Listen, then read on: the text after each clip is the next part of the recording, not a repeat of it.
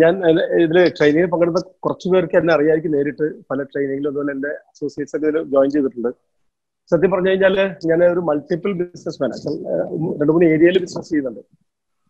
March twentieth ആയപ്പം lockdown പ്രഖ്യാപിച്ച് സത്യം പറഞ്ഞു കഴിഞ്ഞാൽ മൊത്തം ഞാൻ ലോക്ക്ഡൌൺ ആയിപ്പോയി മൊത്തം സ്റ്റക്ക് ആയിപ്പോയി എന്താണ് ചെയ്യാൻ മൊത്തം ഒരു ഒരു ടോട്ടൽ ഒരു ഡാർക്ക് ആയിരുന്നു.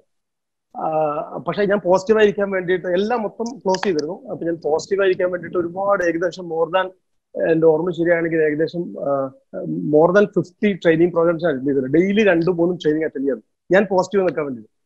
പിന്നെ കുറച്ച് കഴിഞ്ഞപ്പോൾ ഈ ട്രെയിനിങ് അറ്റൻഡ് ചെയ്ത് ട്രെയിൻ അറ്റൻഡ് ചെയ്ത് എനിക്ക് ട്രെയിനിങ് കേൾക്കുമ്പോൾ തന്നെ വട്ട് പിടിച്ചു തുടങ്ങി. മൊത്തം ഇതൊക്കെ പറഞ്ഞു തന്നെ കേൾക്കുന്നതിനൊക്കെ അങ്ങനെ വട്ട് പിടിച്ച അവസ്ഥയിലാണ്.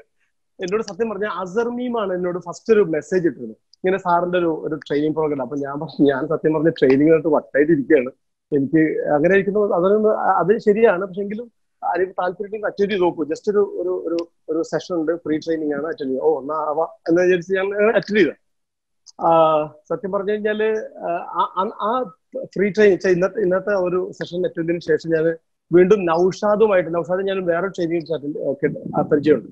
നൌഷാദിനോട് ഞാൻ ചോദിച്ചു നൌഷാദ് ആ ട്രെയിനിങ്ങിന്റെ ഫ്രീ സെഷനിൽ ഉണ്ടായിരുന്നു?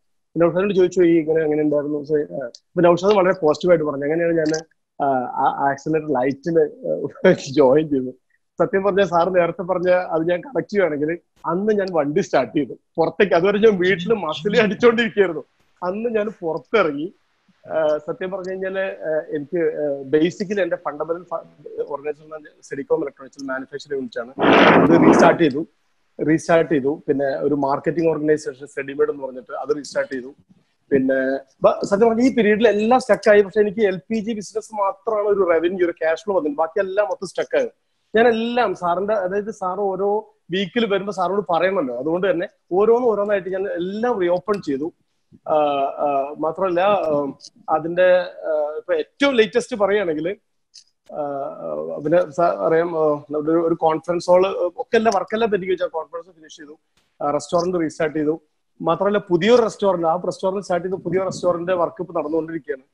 പിന്നെ ഏറ്റവും ലേറ്റസ്റ്റ് എന്ന് പറയുകയാണെങ്കിൽ ഇപ്പോ എനിക്ക് ഒരു കമ്മിറ്റ്മെന്റ് അതായത് ആ ലോക്ക്ഡൌൺ പീരീഡിൽ എന്നെ സപ്പോർട്ട് ചെയ്ത് എൽ പി ജി ഓർഗനൈസേഷൻ ആയതുകൊണ്ട് ആ ഓർഗനൈസേഷനോട് കമ്മിറ്റ്മെന്റ് വെച്ചു. സത്യം പറഞ്ഞ ഒരു organisation L P G distribution കൊടുക്കുക എന്ന് പറഞ്ഞു. അപ്പൊ ഞാൻ ജസ്റ്റ് ഫ്രണ്ടായിട്ട് പോയിട്ട് അന്വേഷിക്കാൻ പോയതാണ് അപ്പൊ സാറ് പറഞ്ഞ കുറച്ച് കാര്യങ്ങളും സാറിന്റെ ഒരു ഒരു മോട്ടിവേഷൻ എന്ത് സാർ എന്നെ ബാക്കിൽ നിന്ന് ഗൈഡ് ചെയ്തതായിട്ട് എനിക്ക് തോന്നി.